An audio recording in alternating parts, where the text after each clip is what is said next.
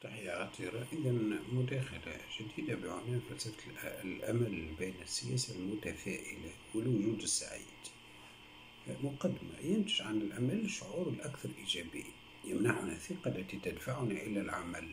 نحن دائما سلبيون فيما يتعلق بآمالنا المفروضة علينا. يعني المكره عندما يأمل شخص ما ينصب كل, ينصب كل انتباهه بشكل خاص على موضوع الأمل أو ما هو مأمول. أن الأمل هو الإيمان بالمصلحة الشخصية أو الجماعية للفرد أو بشخص ما أو بشيء لمن آه، ما نتمتع به من أهمية قصوى أن الأمل يعمل لأنه يقوم على عدم اليقين والجهل بما يخبئه المستقبل لنا. لا جدوى من رؤية الدرج كله يصعد إلى أعلى الأرض فقد أتخذ الخطوة الأولى. عندما تقود سيارة في منتصف الليل لا يمكنك رؤية الراحلة بأكملها في لمح البصر. يمكن أن تضيء مصابيحها الأمامية فقط 100 متر للأمام. لكننا ما زلنا نأمل في الوصول إلى الوجهة المقصودة. إن الثقة الناتجة عن الجهل تدور حول إعطاء الحياة لتوقعاتنا غير المؤكدة لتحقيق بعض الخير في المستقبل. وعدم إدراك نقيضة تماما. كما يرتبط هذا التوقع بالخوف فيما يتعلق بإمكانية تحقيق كل ما يعارض موضوع الأمل. هكذا نأمل وفي نفس الوقت نخشى الفشل. لا يأتي الأمل وحده لكن غالبا ما يكون مصحوبا بالخوف. وهكذا يمكننا أن نتحدث عن مزيج من الأمل والخوف من الجهل بما سيأتي في المستقبل. فيما يتعلق بهذا النقص في اليقين الذي يتبعه الخوف تبرز عدة أسئلة عندما نتحدث عن الأمل. ما هو الأمل؟ ما الذي يقوم عليه؟ الواقع أو الوهم؟ هل له وظيفة في الوجود؟ هل يقودنا إلى ما يسمح لنا بعدم الوقوع في الاستسلام؟ هل هو شعور بيقيننا كوننا متقاعسين أم محرك للعمل والشجاعة؟ هل نضع حياتنا في حالة من عدم اليقين؟ وهل يجب أن نأمل للإجابة على كل هذه الأسئلة والوصول إلى تحقيقها؟ من الضروري أولا فحص العناصر اللازمة لتحقيق وجود سعيد هذا الجانب الفردي إلى حد ما من ميل الإنسان إلى نتيجة مواتية سيسمح لنا أن نفحص للمرة الثانية جانبه الجماعي في العلاقة الاجتماعية التي نعتبرها هنا تفاؤلا في السياسة. وسيتم التركيز في المرة الأخيرة على التفاؤل الوطني بتقييم إمكانية مشاركة الشعب في السعادة الوطنية. نبدأ في العنصر الأول بالوجود السعيد. يرتبط الوجود السعيد بالرغبة وبالتالي ترتبط الرغبة بالحب. الحب هو طاقة حيوية متاحة للجميع بناء على الوجود السعيد فإنه يستخدم أساس مبدأ الحياة ذاتها الحب والأمل أصبحا مألوفين. إن هدف الرجاء هو فقط لأنه جزء من موضوع الحب. ما نأمله يجب أن يكون محبوبا قبل كل شيء مهما كان موضوع الرجاء فإن نهايته هي التمتع بوجودنا أي الوجود السعيد. في النقطة الأولى الأمل والسعادة العلاقة بينهم. نحن بطبيعتنا نسعى للتمتع بملذات الحياة البسيطة. ناهيك عن المظلة الاجتماعية والسياسية والدينية والإنسانية والعلمية والمبادئ والقيم التي يجب أن نلائم المجتمع الذي نعيش فيه. تعمل فقط فينا بشكل غير مباشر. ومع ذلك في هذه المبادئ والقيم فقط لا تتعارض أهداف الأمل لدى البعض مع أهداف وقيم الآخرين. لأنه مع الاهتمام المفرط بمصلحتي مصلحة الفرد مصلحة الشخص بينما أدرك أملي يمكن أن أحترم الآخر يعني أن أحرم الآخر من فكرته. وبعيدا عن كونها فكرا سحريا خارقا للطبيعة تتيح لنا فلسفة الأمل أن يكون لدينا موقف ضروري للإيمان بالغد والتصرف والالتزام مع عدم الإخلال بقواعد السلوك الذي يعتبر حسنا. إنه يعلمنا أن نرغب في شيء ما أي أن نحصل على بعض الرضا النفسي حتى قبل تحقيق المشروع. إنه الطريق الذي نسير فيه نحو الهدف المنشود. نستخدم خيلنا وكل ما يحتويه لأنه من المستحيل أن نأمل دون أن يكون لدينا شيء نتخيله. في مواجهة المحن اليومية مثل المعاناة والبؤس والندرة والأزمات والفجيعة والمرض نأمل في أيام أفضل عندما نخرج من الفقر المدقع. حيث ستكون لدينا ظروف أفضل حيث سنشفى من بين أشياء الأمل لدينا السلام في زمن الحرب والطعام في المجاعة والتغيير أثناء الأزمات السياسية. وكسب ما نعيش أو نعمل به في البطالة والسعادة لأطفالنا وأحبابنا.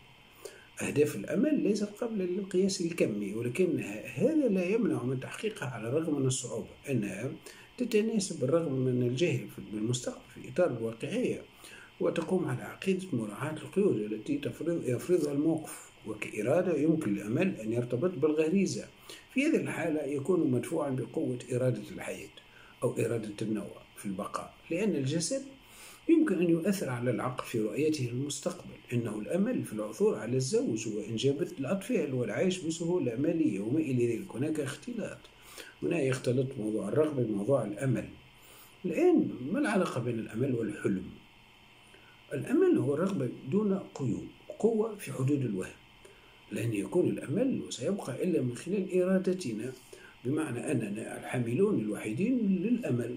إذا كان الإنسان كما يعتقد صارت المشروع فنحن في مقام الأول نقوم بهذا المشروع. يشهد مشروع صارت على ما نعتبره هنا أملا. هذا هو السبب في أن فلسفة الأمل تتمرد على التوقع الخام لتحقيق المشروع. وفي هذا السدد يؤكد بيرغسون أن المستقبل ليس ما سيحدث بل ما سنفعله به. فالتغيير في المستقبل ليس سوى ثمرة تفكيرنا مصعوبة بعدد معين من الأسهم للحفاظ على الأمل وتحريكنا إلى الأعمال. يجب تجربة هذا الفكر المتخذ في شكل خيال على أنه حلم يمكن تشبيه الحلم بشيء نريده بالأمل. دعونا نرى ما يخبرنا به أنري دافيد ثورو. عليك أن تعيش الحياة التي تخيلتها. عليك أن تذهب لتراها في اتجاه أحلامك. خذ رغباتك إلى الواقع. افعل ذلك حتى تكون أحلامك حاسمة. لا تتخلى عن أحلامك. إذا كنت قد بنيت قلاعا في الهواء فلن تضيع بالضرورة فلن تضيع بالضرورة عملك. هذا هو المكان الذي يجب أن تكون فيه. الآن ليس هناك المزيد فقط لوضع أساسيات تحتها. يدعونا الفيلسوف ثرو إلى أن نعيش خيالنا. وإبداعنا لنصنع مشروع حياتنا يجب أن تتضمن اختياراتنا الحياتية وخطط عملنا للمستقبل. جزءا مثاليا وإن لزم الأمر يوتوبيا يمكننا من خلالها تنفيذ الوسائل لتحقيق ذلك. أن الثورة التي نراها في التاريخ وفي جميع المجالات ليست سوى ثمرة خيال وحلم. الناس العظماء الرجال العظماء أو الشخصيات العظيمة اقتبسنا فقط من الخطاب الذي ألقاه القس والنشط الأمريكي مارتن لوثر كينج في 28 أغسطس 1963 أمام نصب لون كولز التذكيري في واشنطن خلال مسيرة من أجل الوظائف والحرية. قال كلمة بلفظين فقط لدي حلم. حلم القس هو حلم أمريكا حيث يجد البيض والسود أنفسهم متحدين وأحرار. لتحقيق حلمه قاد نضالا سلميا من أجل الحقوق المدنية الأمركيين الذين يدعون المساواة بين البيض في عصر فاصل العنصري. لقد أتى الحلم ثمارة في الواقع بالإضافة إلى ذلك بعد 46 عام من إعلان الحلم أصبح أمريكي من أصل أفريقي رئيس لقوة عظمى ورئيس نموذجي وأروع ما في التاريخ. كان التقدم في إنسانيتنا في البداية فقط ضمن النطاق الممكن. الممكن أن لا أحد يستطيع أن يتخيل كان سيأخذ حامل الأمل حتى يقول الآخرون معهم نعم. يمكننا فعل ذلك. كان شعارا سياسيا نعم نستطيع. دور فلسفة الأمل هو تحذيرنا في من المأزق والعيش في الأمل حتى نتمكن من تطوير مفاهيم أصلية لتحقيق أشياء جديدة وجيدة. أه، تذكر أن المحرك لتحقيق الأمل هو إرادته. هذه الإرادة التي يجب علينا الانحناء لها للعقل والتي وحدها يمكن أن تغيب كما يقول ألبير جاكار الباحث. والكاتب ما الفائدة إلى لماذا لا؟ صحيح أنه على المستوى النفسي يبدو أن الحلم ينبثق من اللاوعي لكن يمكن أن يكون واعي للغاية وخالي من الأوهام. لا يستبعد العمل الذي يتعين القيام به لتحقيق ذلك. على العكس من ذلك فإن وظيفة الخيال التي يستخدمها سوف تستخدم أساس قدراتها الإبداعية ومع ذلك يجب أن تسير إبداعاتنا في اتجاه ما نسميه الأمل الثوري. هذا السداد تدفع فلسفة الأمل الثوري إلى عدم الاستفسار من وجهة نظري على الرغم من عدم اليقين بشأن التحقيق الدقيق للتغيير والسعي فقط لأخذ مكان وامتيازات الآخر للابتعاد عن الأنانية. إن الأمل الثوري لا يضع علاقاتنا مع الآخرين في علاقات المصالح فقط بروح العمل الخيري يمكننا أن نحقق رؤية مفيدة للجميع دون الإضرار بالأخلاق. أه، بعد ذلك نأتي إلى طرح العلاقة سؤال العلاقة بين الأمل والسرور. يمكن في المستوى الثالث من العنصر الأول. يمكن أن يخدم الأمل في الخداع والادخار لأن هذا المصطلح مشحون سلبا وإيجابا. لا يتعلق الأمر إلا بالرغبة فهو ينسج لنا حجاب الماية أو مبدأ التفرد الأنانية لمنعنا من رؤية الآخر في بؤسة.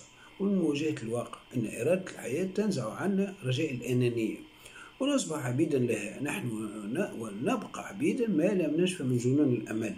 إن الأمل مرتبط بالرغبة ينتهي به الأمر إلى الخلط بينه وبين التحول الواضح الذي يبدو صحيحا لأنه يضللنا ويمكن أن يظهر لنا طريقة تقودنا إلى الضلال بمجرد أن يقتصر الأمر على الرغبة ويغزونا الألم والمعاناة على الفور لأن الرغبة كما يعتقد شوبنهاور هي سيد لا يشبع. يشاطرنا فولتير هذا المنظور في كتابه رسائل فلسفية أن أثمن كنز للإنسان هو هذا الأمل الذي يخفف أحزاننا ويرسم لنا ملذات المستقبل في حيازة ملذات الحاضر. كان البشر غير محظوظين بما يكفي ليهتموا بالحاضر فقط. فلن نزرع ولن نبني وسط هذا الاستمتاع الزائف إن الملذات الجسدية تمنع وصولنا إلى الوجود السعيد لأنها تخلق أملا مدمرا مع الكذبة البيضاء. يقوم الرجاء على مبادئ أنانية وغير أخلاقية. يقودنا نحو التلاعب بالعقل وبالتالي الانتحار الجماعي.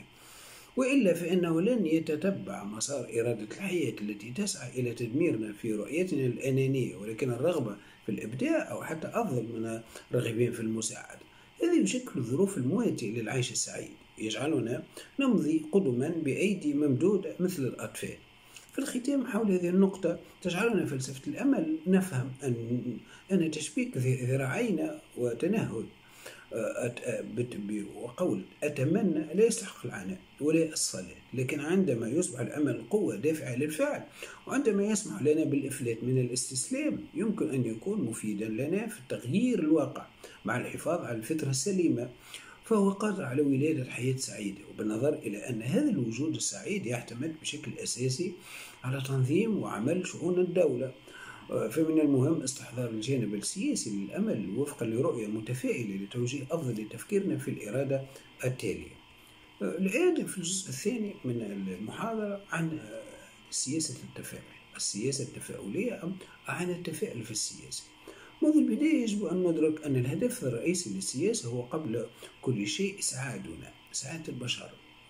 هذا هذا الغرض من وجود الفكر السياسي ومن وجود الدولة والمجتمع السياسي. آه، لنبدأ بسؤال أنفسنا. ما إذا كانت ممارسة السياسة تجعلك سعيدا حقا؟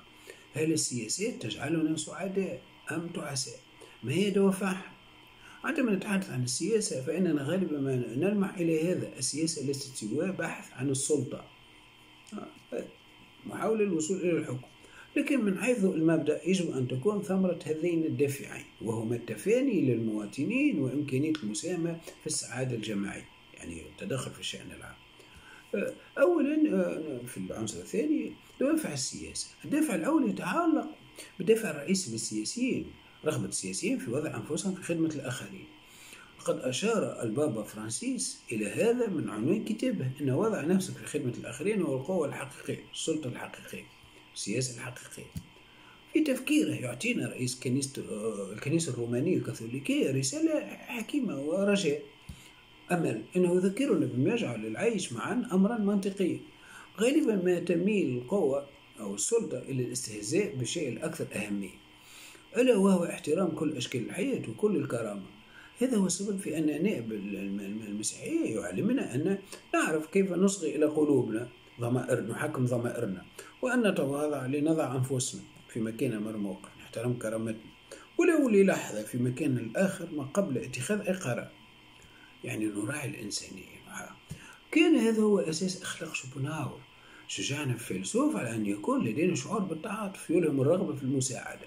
في الواقع يحدد آه، في مؤسساته الأخلاقية أنه ليس من العقل أن يسعى المرء لتأسيس الأخلاق ولكن في القلب حيث من المستحيل إجراء حسابات في أفعال المرء واستبعاد زملائه في البؤس.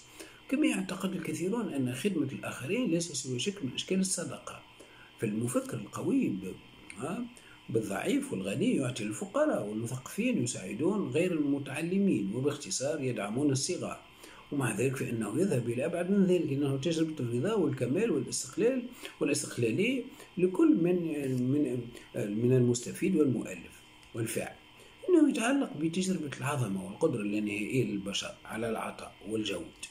المعطى ذو القلب الطاهر يختفي وتتلاشى هويته لأنه يصبح واحدا مع المتلقي. هذه الوحدة التي تتشكل من قمع هوية المؤلف لربط نفسه بهوية المستفيد تشرع لنا ما تعنيه تجربة يعني الملكة. الكمال والوحدة واحد لأن في هذا العمل يعطي الجميع وينال الجميع. هذا يعني أنه في اللحظة التي يخدم فيها شخص ما شخص آخر يصبح كلاهما معا تعبير عن نفس الروح.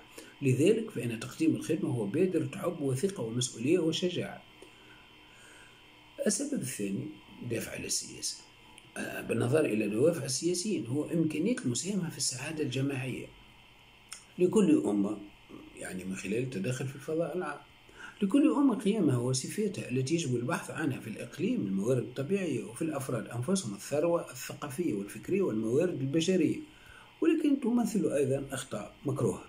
السؤال الذي يطرح نفسه ما الذي نقدره؟ وكيف يمكن احترام التقاليد وخلق فرص العمل وتحقيق النمو الاقتصادي من خلال استغلال الموارد الطبيعية والابتكار وما إلى ذلك؟ هذه العناصر متاحة للسياسيين لبناء الأمة والاستجابة للمصلحة العامة التي تجلب لنا وحدها السعادة الجماعية. النقطة الثانية من القسم الثاني السعادة آه، والسياسة. كيف تكون السياسة طريقة نحو السعادة؟ للربط بين التفاؤل والسياسة دعونا نعود إلى السؤال الذي طرحناه في البداية. هل السياسة تجعلنا سعداء؟ يبدو أن الإجابة هي نعم لأن السعادة هدف سياسي وهذه الحالة من الرخاء والكمال والسعيد. الرفاهية تنشط تنشط التفاؤل الفردي والجماعي. يمكن بالفعل أن تأخذ السعادة في الحسبان ويتم تصورها على المستوى الاجتماعي. من هذه الزاوية نتحدث عن سعادة الفرد. آه، التي يجب أن تكون موضوع الاهتمام السياسي والاجتماعي. قد تمت مناقشة القضية المرتبطة بالسعادة منذ العصور القديمة وحتى يومنا هذا. أنها تطرح عدة أسئلة ماذا نعني بسعادة المجتمع أو سعادة الناس سعادة الشعب؟ عندما نجعل السعادة هي الهدف السياسي هل يمكن أن يضمن ذلك؟ آه، تحقيق سعادة الجميع؟ هل يمكن أن نتخيل أن السياسة العامة للأمة يمكن أن تفسر سعادة كل فرد؟ لا نجازف بإهمال توزيع السعادة بين كل فرد من أفراد المجتمع بالرغبة في رفع مستوى الرفاهية للجميع. كان ينظر إلى السعادة على أنها الهدف السياسي والرئيسي والهدف الرئيسي للسياسة. بالنسبة لأفلاطون فإن السعادة كل فرد هي جزئين تأثير النظام السياسي وتميز المجتمع السياسي. هي مرتبطة بسعادة المدينة. يعني سعادة الفرد مرتبطة بسعادة المدينة التي ينتمي إليها هذا الفرد. كما يشترك أرسطو أيضا في نفس المنظور من خلال تحديد أن أفضل حياة والتي هي كذلك واحدة لجميع البشر هي الهدف وسبب وجود النظام السياسي الأفضل. كان يبحث عن أفضل نظام سياسي يمكنه وحده أن يؤدي إلى حياة كريمة أرسطو. هذه حياة يمكن للجميع فيها ممارسة فضائلهم وتحقيق الرغبات التي تشكل إنسانيتهم. يجب أن تحقق السياسة الخير من أجل خلق حياة سعيدة. من الناحية النظرية خلص أفلاطون وأرسطو إلى أن السياسة الحقيقية التي تهدف إلى السعادة الجماعية تؤثر بشكل إيجابي على سعادة كل فرد. إن المهم لتحقيق هذه الغاية لا تقع على عاتق السياسيين فقط لأن المواطن كمشرع محتمل يجب أن يأخذ في الاعتبار خير الجميع. ووضع القوانين تجعل من الممكن حياة سعيدة للجميع. لقد أدت سياسات السعادة للجميع لوجهات نظر مختلفة في تاريخ الأفكار. إلى ميلاد النفعية على سبيل المثال التي ترى أن معيار المنفعة يجب أن يكمن وراء السيادة ومبادئ العدالة هكذا صرح الفيلسوف الإنجليزي جيريمي بنتام أن مبدأ العدد الأكبر هو الغاية العملية العالمية المرغوبة الوحيدة. ومن هنا جاءت صيغته الشهيرة أكبر سعادة لأكبر عدد. استمرارا على خط على خطى بنتام طور جون ستوارت ميل الفيلسوف البريطاني وعالم المنطق الاقتصادي. هذه الصيغة أيضا تضع النفعية التعريف العام والجماعي للسعادة في قلب تفكيرها. سعادة الفردية فقط تحسين الرضا عن طريق الحساب الذي يسمح للمشرع باتخاذ قرار. هذا هو حساب السعادة الذي يسير في اتجاه حساب المرافق الذي يدرك بدل من ذلك السعادة من خلال تحسين إرضاء التفضيلات الفردية يرى بنطام الخير الأسمى في هذه الحالة سعادة الجميع كنتيجة لاستهلاك السعادة المتساوية لكل شخص. آه يعني أعتذر.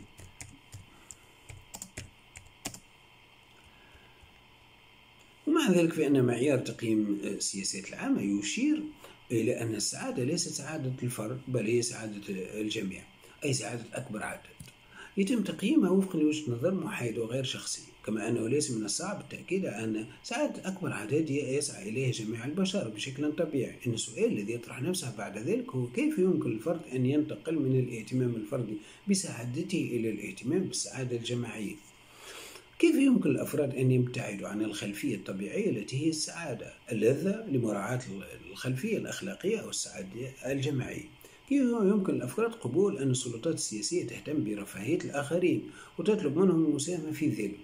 صحيح أن هناك اختلاف في الهدف الأخلاقي بين البحث عن السعادة الشخصية والبحث عن سعادة محايدة وجماعية.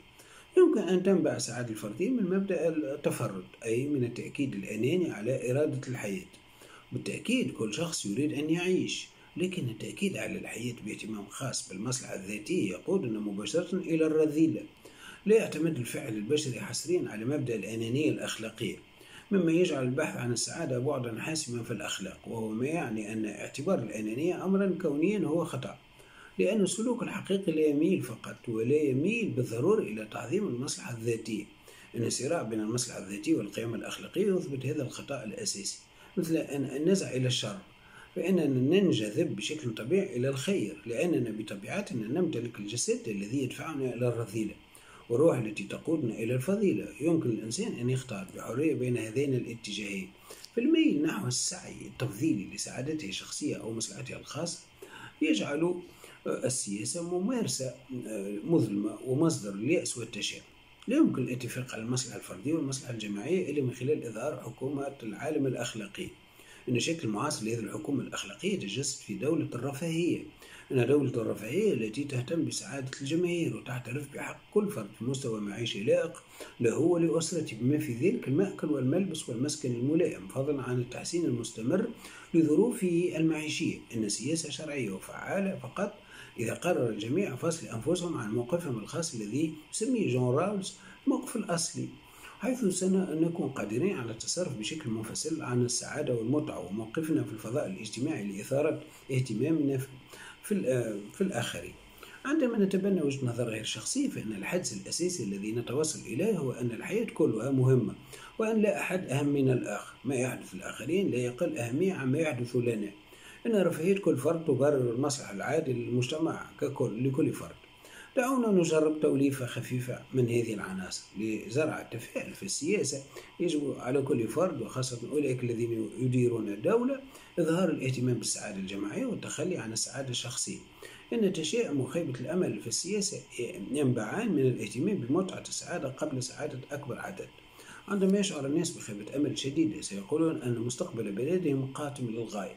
السعادة ليست مجرد شعور ذاتي لأنها تعتمد على الظروف الموضوعية التي يمكن ملاحظتها في العلاقة الاجتماعية. في هذا السبب يذكرنا شوبنهاور في مفهومه عن إرادة الحياة أنه بصرف النظر عن المبادئ الأخلاقية.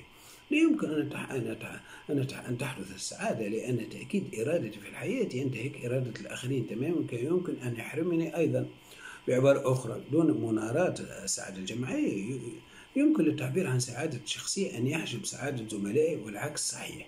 هذا يعني أن سعادتي تعتمد على العمليات الداخلية السلام الداخلي مثلا وخاصة على الظروف الخارجية السلام الاجتماعي. ومن هنا تأتي الحاجة إلى الدولة الاجتماعية التي تسعى إلى تحويل المصلحة الشخصية إلى موقف مستوحى من اعتبارات العدالة النزيهة أو نزاهة العدالة لمواصلة ربما هذا الموقف فإن التفاؤل الوطني الذي هو ثمرة من هذه الحالة الاجتماعية يستحق المناقشة. المقصود بالتفاؤل الوطني. التفاؤل الوطني ليس سوى منظور إيجابي من الشعب كله تجاه السياسة العامة للحكومة وتأثيرها على الفرد في حياتنا اليومية وظروفه الاجتماعية ومستوى معيشته وبيئته باختصار في كل ما يؤسس كرامته وجدارته وحقه. هذا لا يعني الكبرياء الوطني لأنه يمكن المرء أن يفخر بجنسيته بينما يشعر بخيبة أمل عميقة من الصعود السياسي لبلده. يمكن للجميع أن يفخروا بما هم في في الداخل ولكن قد لا يفخر المرء بكل ظروفه الحالية. لا أحد يفخر بأن يكون بائسا وغير سعيد أو أن يعيش في هشاشة. شعب يغرق في التشاؤم طالما أن وضعه لا يكشف عن مستقبل واعد. في البلدان الفقيرة أو في أوقات الحرب من الأسهل غرس التشاؤم من زرع التفاؤل الوطني. الفشل السياسي الذي يترجم الكارثة في كل المجالات يقود المواطنين نحو التشاؤم الوطني يظهر الأخير يعني التشاؤم الوطني عندما يجد الناس اليأس ككل ولكن من أين يأتي هذا اليأس الجماعي؟ أليس استمرار الظلم الاجتماعي؟ ومن أين يأتي هذا الظلم الاجتماعي؟ إذا فما كيف تؤدي السياسة إلى الظلم؟ ما هي طبيعة السياسة الظالمة؟ في مقطع الفيديو الذي يحمل عنوان البحث عن الأسباب يحاول إيتيان شوار أستاذ معرفة سبب أسباب الظلم الاجتماعي. يقول إن الظلم الاجتماعي يأتي من العجز الشعبي الذي تمت برمجته منذ الدستور. الناس الطيبون ليس لديهم القدرة على المقاومة. يقضون وقتهم في الشكوى لكنهم لا يغيرون أي شيء لأن عجزهم السياسي يمنعهم من التصرف. يأتي هذا العجز السياسي من النص الأساسي الذي يجعل المسؤولين المنتخبين لدينا غير قابلين للعزل. من يكتب الدستور له مصلحة في عدم كتابة الدستور الصحيح. القوي. هؤلاء الصحيح هو القوي.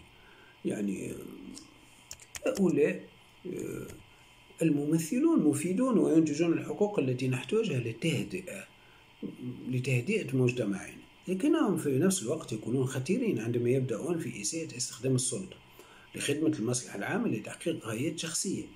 يذكرنا مونتسكيو في روح القوانين كل شخص لديه سلطة يميل إلى إساءة استخدامها. آه، إن إساءة معاملة يعني السلطة أو إساءة معاملة معاملة القادة تثبت هذا العز عز العجز الشعبي ومصدر اليأس الجماعي والتشاؤم الوطني. من حيث المبدأ يعمل الدستور على إضعاف السلطات والتحقيق فيها لحمايتنا من إساءة استخدام السلطة. ولكن بالنظر إلى أن السادة السياسيين هم من يكتبون الدستور فإنهم يبرمجون قوتهم وعجزهم. ومن ناحية أخرى يجب الاعتراف بأن السلطة تدفع أولئك الذين يسعون إليها إلى الجنون الأشخاص الطيبون والعادلون والصادقون لا يريدون يعني لا يريدون أن يحكموا على الإطلاق. لذلك فإن الذين يتوقون للسلطة هم الذين يحكمون. والذين يسعون إلى إضعاف قوة سلطة الشعب وقوته. هذا بالضبط ما يقوله ألا يعني ألا المفكر الحر في كتاب عن السلطات. بعد كل شيء فإن السمة الأكثر وضوحا للشخص العادل هي عدم الرغبة في أن يحكم الآخرين على الإطلاق. يعني وأن يحكم نفسه فقط. هذا يقرر كل شيء بمعنى آخر سيحكم الأسوأ هذا الاقتراح المبني على أساس ملموس يخفي وراءه غياب الفطرة السليمة من بين من هم في السلطة الأسوأ تميل السلطة إلى دفع أنانيتنا إلى ما وراء حدودها. وهذا يؤدي فعليا إلى فشل سياسي والذي يفسر فسره التأكيد المفرط على إرادة القادة في العيش خارج نطاقهم إلى إنكار الحقوق والحريات التي تقوض كرامة الإنسان. نتحدث في هذا الموضوع عن شعب محبط محروم مما هو ملكهم. بالطبع احترام حق كل فرد يعزز السعادة والسعادة بدورها عنصر أساسي من عناصر التفاؤل هذا في مشروع المجتمع السياسي يمثل مؤشرا على رؤية وطنية إيجابية. يعني آه، على سبيل المثال يقال حرفيا في هدوء وفرح سنكون مباركين. وهو الوقت الذي كان فيه الشعب ككل يأمل كثيرا في السعادة. بعد تحريره من نير المستعمرين لقد زرع تفاؤل وطني بعد التفاؤل السياسي الذي شاركه الشعب كله ويشمل إعلان الاستقلال انتصارا وطنيا وهو ما يرقى إلى القول بأن التفاؤل السياسي شرط لا غنى عنه لاحتمال التفاؤل الوطني. يجد الناس صعوبة في التطلع إلى المستقبل بتفاؤل إذا كان أولئك الذين من المفترض أن يحموهم والذين منحوا قوتهم يسيئون استخدام عدم قدرتهم على التصرف وينفرون من حقهم دون حامي أو دون أو حامي فاسد يعيش بعيدا عن السعادة. في النقطة الثالثة السعادة القومية الإجمالية. اختارت بعض الدول قياس حالة الدولة من خلال السعادة. منذ عام 1972 كان نمو إجمالي السعادة الوطنية في نظر آه، يعني آه، آه، من يرأس الدولة مؤشرا أكثر أهمية للبلاد من المؤشر الناتج المحلي الإجمالي. تكشف الدراسات الاستقصائية الدولية مثل تلك الخاصة بقاعة البيانات العالمية للسعادة أو تقييم السعادة القومية الإجمالية أن مستويات السعادة تختلف من بلد إلى آخر. الفرنسيين أسعد من الملقاشيين والملقاشيين أكثر من السوريين الموجودين في الحرب.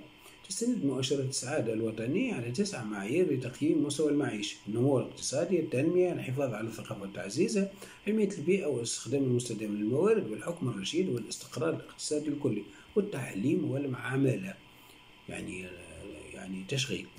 ينتج الدخل القومي الإجمالي عن مؤشرين مثل الناتج المحلي الإجمالي ومؤشر التنمية البشرية قيس نتائج السعادة على صعيدين الوطني والدولي هذا ممكن بفضل التخوف من السعادة على أساس المعايير الاقتصادية.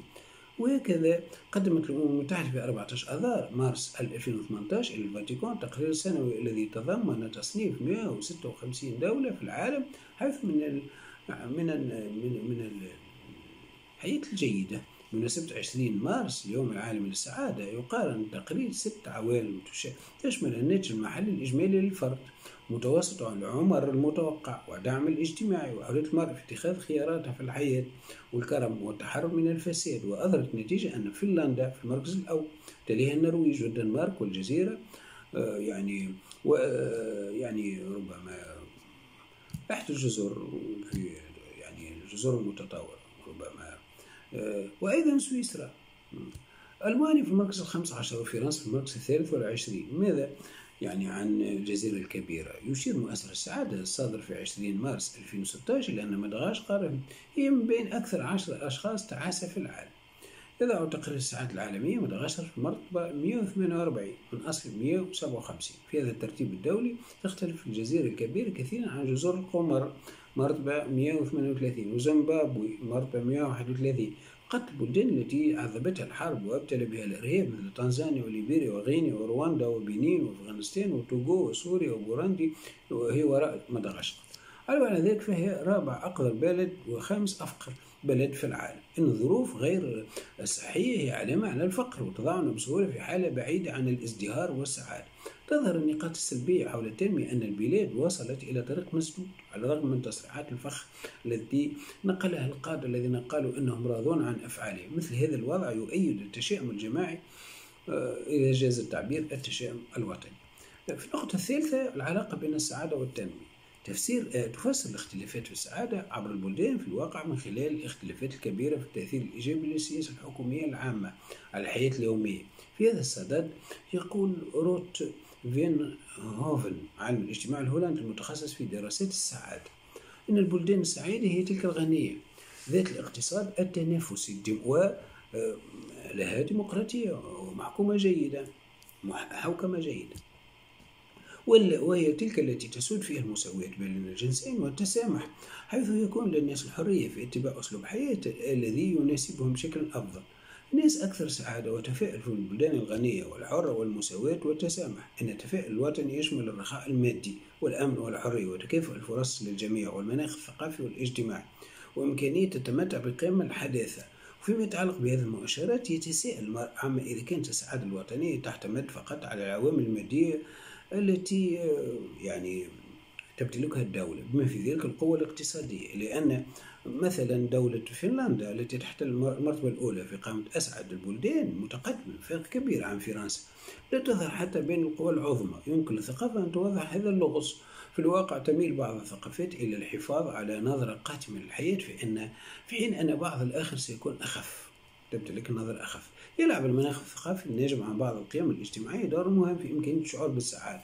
من الواضح أن الأفراد يكونون أكثر سعادة في البلدان التي يتم فيها قبول الفردية ورفض الاستبداد. على أي حال كلما كانت الدولة أكثر حداثة أي أنها قادرة على ضمان الحقوق الأساسية فإن المواطنين الأكثر سعادة لديهم إمكانية الوجود. أسعد المجتمعات هي الأكثر تجانسا إنها تعطي قيمة أعلى لحقوق الإنسان والحرية الاقتصادية والسياسية. ويظهر القادة يعني الحوكمة الرشيدة عندما تسود الديمقراطية ويصبح احترام الحقوق المدنية أكثر أهمية. عندما تكون المؤسسات مستقرة وشرعية يزداد تزداد الرفاهية الذاتية بشكل كبير والمشاركة في الحياة السياسية تجعل المواطنين أكثر سعادة. في سويسرا حيث الديمقراطية مباشرة هي مثال جيد فمن الواضح أن السعادة منخفضة للغاية دون مستوى الكفاف قال روسو. حسنا ألم البؤس يأتي إليه من قسوة القدر الذي يثقله؟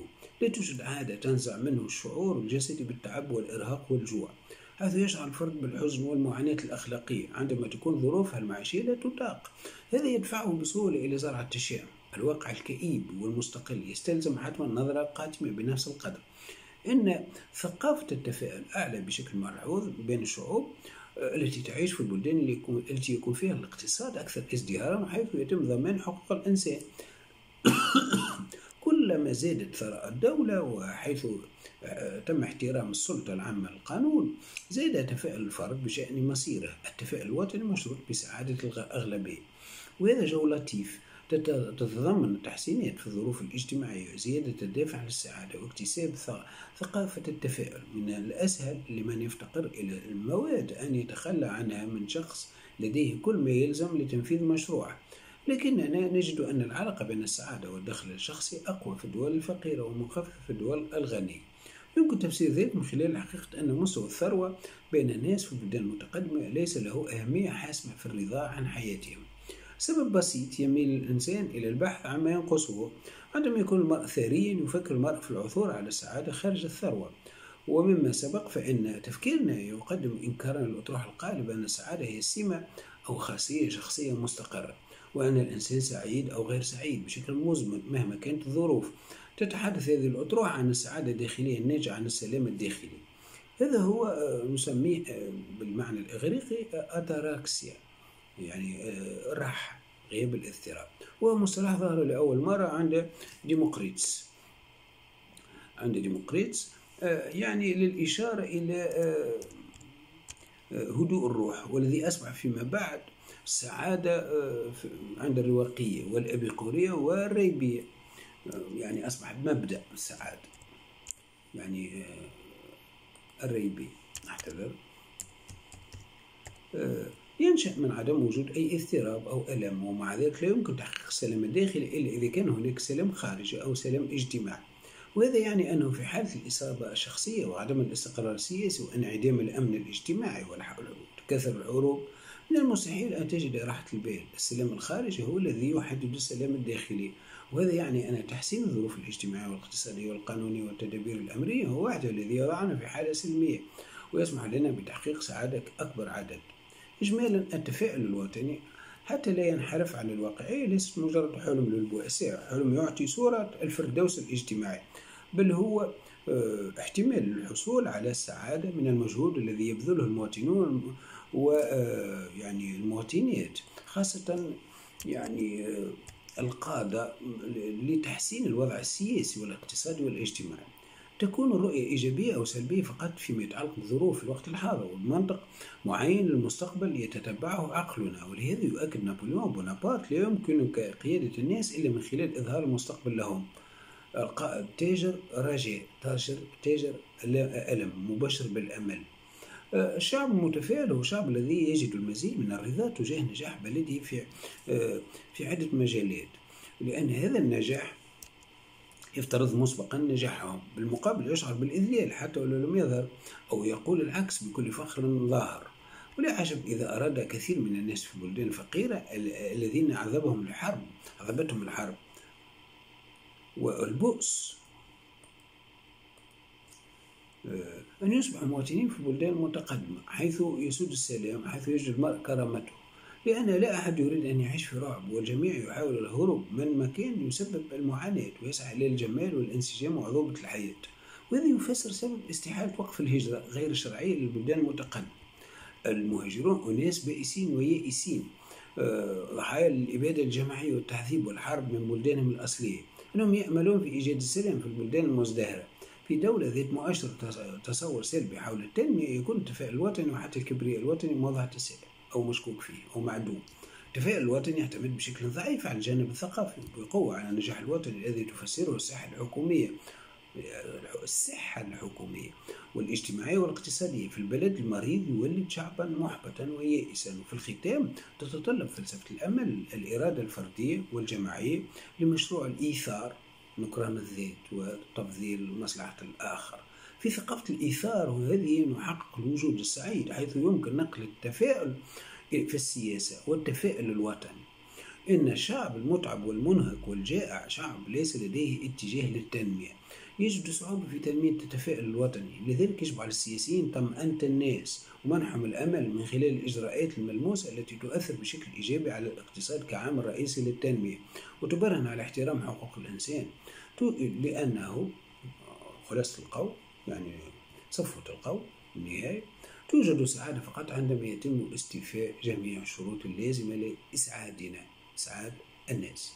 إذا هنا انتهت فلسفة الأمل بين يعني الوجود السعيد ويعني خلاص الإنساني أو التفاؤل السياسي. أرجو أن تكون هذه المحاضرة قد أفادتكم وفيها الكثير من الرجاء والأمل رفع للمعنويات وفيها الكثير من السياسة الناجحة والناجعة.